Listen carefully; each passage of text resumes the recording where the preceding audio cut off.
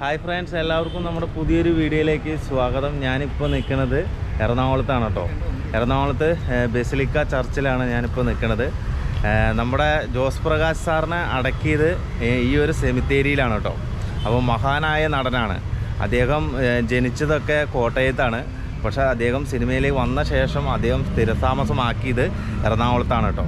അപ്പോൾ അദ്ദേഹത്തിന്റെ ഇടവക ഇതിന്റെ തൊട്ടടുത്ത് തന്നെയാണ്. പക്ഷേ അവിടെ നിന്ന് കുറച്ച് മാറിയിട്ടാണ് കേട്ടോ സെമിത്തേരി ഉള്ളത് പിന്നെ അദ്ദേഹവും അദ്ദേഹത്തിന്റെ ഭാര്യയുടെ ഒപ്പമാണ് അദ്ദേഹത്തെ അടക്കിയിരിക്കുന്നത്. ഞാൻ നിങ്ങളെ കാണിച്ചു തരാം. എന്നിട്ട് അദ്ദേഹത്തിന്റെ വീടും അദ്ദേഹത്തെക്കുറിച്ചുള്ള കാര്യങ്ങളൊക്കെ നിങ്ങളെ കാണിച്ചു തരാം കേട്ടോ അപ്പോൾ നമുക്ക് ഇവിടുന്ന് കുറേ അറിവും കാര്യങ്ങളൊക്കെ കിട്ടും. ഇത് വലിയ സെമിത്തേരിയാണത് ഇത് ആ ഒരു ഭാഗത്തായിട്ടാണ് കേട്ടോ അദ്ദേഹത്തെ അടക്കിയിരിക്കുന്നത്. ആ ഒരു ഭാഗത്തായിട്ടാണ്. അറിയാനുള്ള അവകാശം കുഞ്ഞിനുണ്ട്. പക്ഷേ എന്റെ ധർമ്മം കൊല്ലങ്ങളായി കോലത്തെ ഉപ്പും ചോറും തിന്നണം. കണ്ടതും കേട്ടതും എല്ലാം ഉള്ളിൽ മൂടി വെക്കുക. എനിക്കറിയാവുന്നതൊക്കെ എന്നോടുകൂടി മണ്ണടിഞ്ഞോട്ടെ എന്നെ നിർബന്ധിക്കരുത്. പക്ഷേ ഒന്നും കുഞ്ഞു മനസ്സിലായിക്കൊള്ളൂ. എല്ലാം കൊണ്ട് യോഗ്യനായ ഒരാളായിരുന്നു. ദേ നേരെ കാണുന്ന ശവകുടീരമാണ് കേട്ടോ അദ്ദേഹത്തിന്റെ ശവകുടീരം. ഇവിടെയാണ് അദ്ദേഹം ഉറങ്ങുന്നത്. അദ്ദേഹത്തിന്റെ ഒപ്പം ഉറങ്ങുന്ന അദ്ദേഹത്തിന്റെ വൈഫുമാണ് കേട്ടോ. കണ്ടില്ലേ? അവരുടെ വീട്ടും പേര് കുന്നേലാണ്. ഫിലോമന ജോസഫ് മരണം ആയിരത്തി തൊള്ളായിരത്തി തൊണ്ണൂറ്റി മൂന്നിലാണ് അതുപോലെ തന്നെ ജോസ് പ്രകാശ് സാറിന്റെ മരണം രണ്ടായിരത്തി പന്ത്രണ്ടിലുമാണ് കേട്ടോ. അതിൽ എഴുതി വെച്ചിട്ടുണ്ട്. മഹാനായ നടനാണ് മഹാനായ നടൻ. ഒരു കാലത്ത് സിനിമയെ ഇളക്കി മറിച്ചൊരു നടനാണ് ഇപ്പോൾ ഇവിടെ ഉറങ്ങുന്നത് കേട്ടോ. സിനിമയിൽ അദ്ദേഹം വില്ലനായിരുന്നു. പക്ഷേ ജീവിതത്തിൽ അദ്ദേഹം ഒരു നല്ലൊരു മനുഷ്യനായിരുന്നു എന്നാണ് എല്ലാവരും പറയുന്നത് കേട്ടോ. അത്രയ്ക്കും ഒരു വലിയൊരു കലാകാരനായിരുന്നു അദ്ദേഹം. അദ്ദേഹം എട്ട് വർഷത്തോളമാണ് മിലിറ്ററിയിൽ സേവനം അനുഷ്- അനുഷ്ഠിച്ചത്. പക്ഷെ അദ്ദേഹത്തിന് ഏറ്റവും കൂടുതൽ പാഷൻ ഉണ്ടായിരുന്ന അദ്ദേഹത്തിനൊരു സിനിമയിൽ ഗായകനാവാൻ ഉള്ള ഒരു ഭയങ്കര താല്പര്യം ഉണ്ടായിരുന്നു. അങ്ങനെ അദ്ദേഹം ആ ജോലിയൊക്കെ വേണ്ടെന്ന് വെച്ചിട്ട് അദ്ദേഹം നാട്ടിൽ വന്നിട്ട് കോട്ടയത്ത് ഒരു ക്ലബ്ബ് രൂപീകരിക്കുകയാണ് ഉണ്ടായത്. എന്നിട്ട് ആ ക്ലബ്ബിലൂടെ അദ്ദേഹം പാട്ടുകളൊക്കെ രചിച്ചു പാടാനൊക്കെ തുടങ്ങി. അങ്ങനെ ആ പാട്ടുകളൊക്കെ ജന പ്രീതിയിലേക്കൊക്കെ എത്തുകയൊക്കെ ഉണ്ടായി. അങ്ങനെയാണ് തെക്കുറിശി അദ്ദേഹത്തിനെ സിനിമയിലേക്ക് വിളിക്കുന്നത് തന്നെ. അദ്ദേഹത്തിന് ആദ്യം പാട്ട് പാടാൻ വേണ്ടിയിട്ടാണ് അദ്ദേഹത്തിനെ വിളിച്ചത്. അമ്പതോളം പാട്ടുകൾ സിനിമയ്ക്ക് വേണ്ടി പാടുകയുണ്ടായി. തെക്കുറിശി സാറ് തന്നെയാണ് അദ്ദേഹത്തിന് പേരിട്ടത് കേട്ടോ. അദ്ദേഹത്തിന്റെ ആദ്യ പേര് ബേബി എന്നായിരുന്നു. എന്നിട്ടാണ് ആ പേര് മാറ്റിയിട്ടാണ് നമ്മൾ ഇന്ന് കാണുന്ന ജോസ് പ്രകാശൻ എന്ന് പറയുന്ന ആ പേരിലേക്ക് നിർദ്ദേശം കൊടുത്തത്. സുന്ദരനായ വില്ലൻ എന്നാണ് ആ കാലത്ത് മലയാള പ്രേക്ഷകർ അദ്ദേഹത്തെ വിളിച്ചുകൊണ്ടിരുന്നത്. അത്രയും തേജസ് അദ്ദേഹത്തിന് ഉണ്ടായിരുന്നു കേട്ടോ. അദ്ദേഹത്തിന് ഒരുപാട് ഇഷ്ടം ഉണ്ടാർന്ന മേഖല എന്ന് പറയുന്ന സംഗീതമായിരുന്നു. പക്ഷെ അദ്ദേഹം ശാസ്ത്രീയമായിട്ട് അത് അഭ്യസിച്ചിട്ടില്ല. അതുകൊണ്ടാണ് അദ്ദേഹത്തിന് പിന്നീട് ആ, മേഖലയിൽ തിളങ്ങാൻ കഴിയാതിരുന്നത്. പക്ഷേ അദ്ദേഹത്തിന് ഒരു തിരിച്ചുവരവ് കംബാക്ക് ഉണ്ടാകുന്ന ആയിരത്തി തൊള്ളായിരത്തി അറുപത്തൊന്നിലാണ് അദ്ദേഹത്തിന്റെ ഭക്തകുജല എന്ന് പറയുന്ന ഒരു സിനിമ റിലീസ് ഉണ്ടായി. പക്ഷേ അതിനുശേഷം അദ്ദേഹത്തിന് ടേണിംഗ് പോയിന്റ് ഉണ്ടാകുന്നത് ആയിരത്തി തൊള്ളായിരത്തി അറുപത്തൊമ്പതിൽ ഇറങ്ങിയ ഓളവും തീരും എന്ന പടത്തിലാണ് കേട്ടോ. അതിന്ന് പിന്നെ അദ്ദേഹത്തിന് വെച്ചടി വെച്ചടി കയറ്റായിരുന്നു പിന്നെ അദ്ദേഹം വില്ലൻ വേഷങ്ങളൊക്കെ ചെയ്യുന്നത് ഒരു സെവന്റീസ് കാലഘട്ടം മുതലാണ്. ആ സെവന്റീസ് കാലഘട്ടം മുതലൊക്കെ ഒരുപാട് പ്രേക്ഷകരും അന്നത്തെ സംവിധായകരും അദ്ദേഹത്തെ ഉപയോഗിച്ചു എന്ന് തന്നെ നമുക്ക് പറയാൻ പറ്റും. കാരണം അത്രയ്ക്ക് മനോഹരമായിട്ടാണ് ആ കാലത്ത് അദ്ദേഹത്തിന്റെ ഒരു ഒരു അഴിഞ്ഞാട്ടമായിരുന്നു. നമുക്ക് വേണ്ടി സേവനം ചെയ്തല്ലേ ഇവന്റെ മുതലാളിയെ വഞ്ചിച്ചിട്ടല്ലേ? അവൻ നമുക്ക് സേവനം ചെയ്തത്? ഇന്നലെ വരെ പാലൂട്ടി കൈക്കല്ലേ അവൻ തിരിഞ്ഞു കുത്തിയത്? നാളെ അവൻ എന്നെയും കൊത്താൻ മടിക്കില്ല. അങ്ങനെ നമ്മൾ എറണാകുളത്താണ് അദ്ദേഹത്തിന്റെ വീട് തെണ്ടി ഇങ്ങനെ നടക്കുകയാണ് കേട്ടോ. അപ്പോൾ ഈ രവിപുരത്താണ് അദ്ദേഹത്തിന്റെ വീട് ഇവിടെ എവിടെ വേണ്ടിയാണ് കേട്ടോ അദ്ദേഹത്തിന്റെ വീട്? ഈ റോഡിന് പറയുന്നത് കെ എസ് മേനോൻ റോഡിൽ നിന്നാണ്. ഈ റോട്ടിലൂടെ പോയി കഴിഞ്ഞാൽ ലെഫ്റ്റ് സൈഡിൽ ഒരു ഹോസ്റ്റലിൽ നിന്നാണ് എന്റെ അടുത്ത് പറഞ്ഞത് കേട്ടോ. അപ്പോൾ അദ്ദേഹം നാൽപ്പത് വർഷങ്ങൾക്ക് മുമ്പ് പണിത വീടാണ്. അത് അദ്ദേഹം കൊടുത്തു. ആ വീട് കൊടുത്തു. കൊടുത്ത ശേഷം ഇവിടെ തന്നെ വേറൊരു വീടും കൂടി അദ്ദേഹം മേടിക്കുകയുണ്ടായി. അപ്പോൾ ആദ്യം അദ്ദേഹത്തിന്റെ വീടാണ് നമ്മൾ കാണാൻ പോകുന്നത്. കാണിച്ചു തരാം നിങ്ങൾക്ക്. ഇവിടെ എവിടെ വേണ്ടിയാണ് കേട്ടോ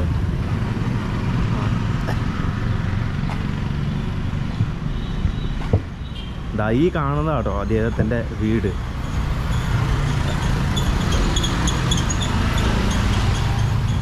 കാണിച്ചു തരാം ഞാൻ നിങ്ങൾക്ക്. സോറി ഇതാണ് ഇതാണ് കേട്ടോ സോറി മാറിപ്പോയി. ഇതാണ് അദ്ദേഹത്തിന്റെ വീട്.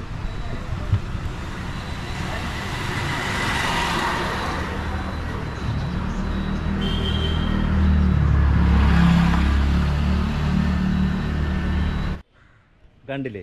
ആ പണ്ടത്തെ ഗേറ്റ് കണ്ടില്ലേ? അത് അതേപോലെ തന്നെ ഉണ്ട് കേട്ടോ. ഇപ്പോഴും അങ്ങനെ തന്നെ ഉണ്ട്. അതേപോലെ തന്നെ ഇവിടുത്തെ ആ പണ്ടത്തെ രീതിയിലുള്ള ജനലൊക്കെ കണ്ടില്ലേ? അതിപ്പോഴും അങ്ങനെ തന്നെ ഇപ്പോഴും ഉണ്ട്. ആ പഴയ ഡിസൈൻസ് ഒക്കെ നിങ്ങൾ കണ്ടില്ലേ? ഇതൊക്കെ ആ പണ്ട് വരുന്ന ഡിസൈൻസ് ആണ് കേട്ടോ.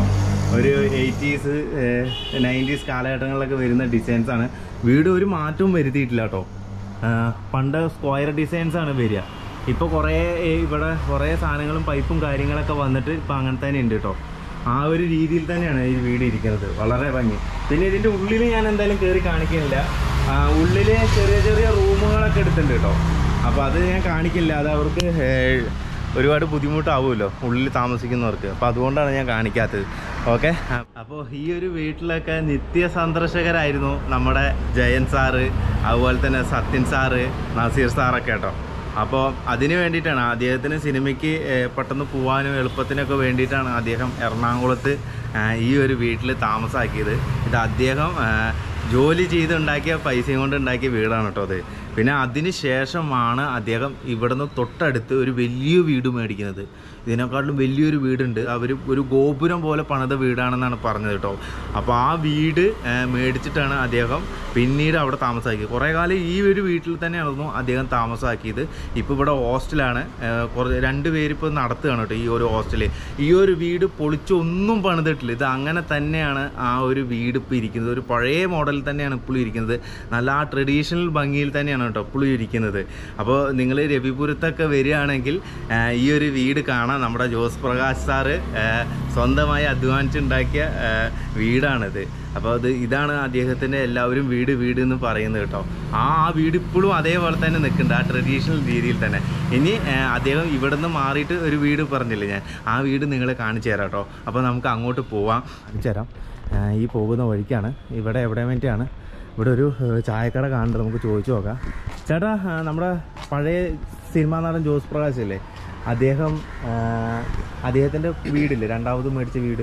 ആ റോഡ് നേരെയാണ് ഗോപുരം മാതിരി വീടായിരുന്നു. ഗോപുരം പോലത്തെ അല്ലേ വീട് താമസിച്ചിട്ടാണ് പോയി. അത് പൊളി- അത് കുറേ നാൾ താമസിച്ചിട്ട് അത് പൊളിച്ചിട്ടാണ് ഇപ്പൊ പുതിയ ബിൽഡിംഗ് വെച്ചിരിക്കുന്നത് ഗോഡൗൺ ഗോഡൗൺ താഴെ ഗോഡൗണും മുകളിൽ രണ്ട് ഓഫീസും ഒക്കെ ഓക്കെ ഓക്കെ ചേട്ടാ ജോസ് പ്രകാശിനെ കണ്ടുണ്ടോ എന്റെ നല്ല പ്രായത്തിൽ കണ്ടിരിക്കുന്നത് എന്താ ചേച്ചിക്ക് നാണാണ്ടോ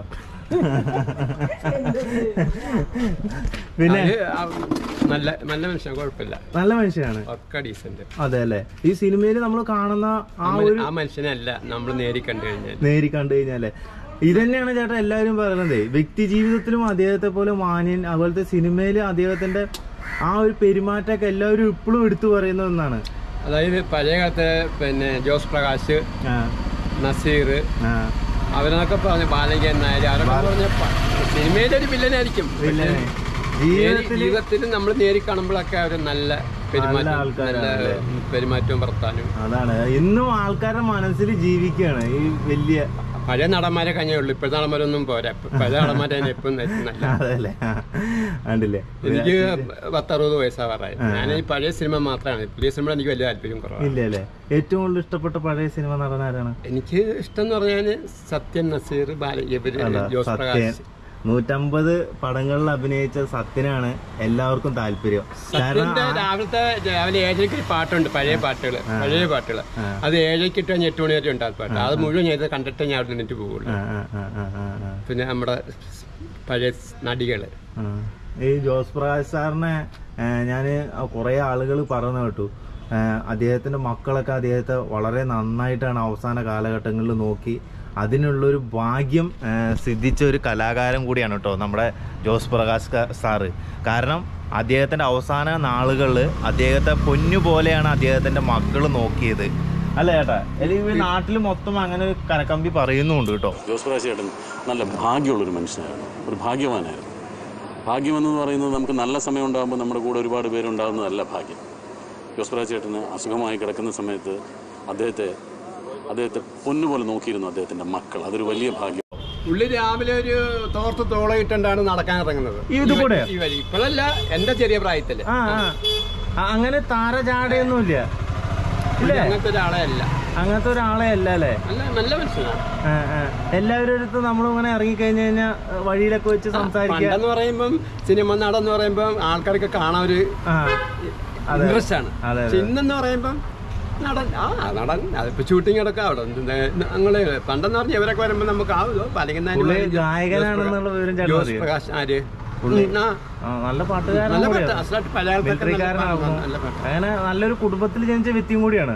ഭയങ്കര ഹൈ ലെവലിലുള്ള ഒരു കുടുംബത്തിൽ ജനിച്ച വ്യക്തിയാണ്. ഇല്ല, കാണുമ്പോ അറിയാമല്ലോ. ഹൈറ്റും വെയിറ്റും ഹൈറ്റും വെയിറ്റും നല്ല പിന്നെ അതുപോലെ തന്നെ നല്ല നിറവും കാണാൻ സുന്ദര കുട്ട അന്നത്തെ കാലത്ത് നല്ല പാലിന്റെ നിറാണ് പുള്ളിക്ക്. കാരണം എന്താ പറയാ നമുക്ക് അങ്ങനത്തെ ഒരു ഇനിയൊരു ഇല്ല. ആദ്യത്തെ സുന്ദരനായ വില്ലനാണ്. അല്ല ഏട്ടാ? ആദ്യത്തെ സുന്ദരനായ വില്ലൻ അതുപോലെ തന്നെ ആദ്യത്തെ സ്ത്രീകളുടെ പേടി സ്വപ്നം. അല്ലേ? കുറെ ഡയലോഗ് മുതലക്കുഞ്ഞുങ്ങളെ സ്വന്തമായിട്ട് വളർത്തിയ ഒരു ടീമാണ് പുള്ളി. അതെ അതെ. അപ്പോ എന്തായാലും ചേട്ടാ നന്ദി. ഓക്കെ. പുള്ളിയെ കുറിച്ചുള്ള കുറച്ച് നേരമെങ്കിലും കുറച്ച് കാര്യങ്ങൾ നമുക്ക് ഇവിടുന്ന് കിട്ടിയല്ലോ. ഇപ്പൊ ഈ ഒരു നഗരമൊക്കെ നഗ ഇതായി മാറി അല്ലേ ഏട്ടാ ബിൽഡിങ്ങുകളായി മാറി. പണ്ട് ഇവിടെ അദ്ദേഹം മേടിച്ചുകൊണ്ടിരിക്കുന്ന സമയത്ത് ഫുള്ളും പാടങ്ങളാണ്. പാടങ്ങളാണ് പാടങ്ങളും ചെറിയ ചെറിയ ഇടവഴികളൊക്കെയാണ്.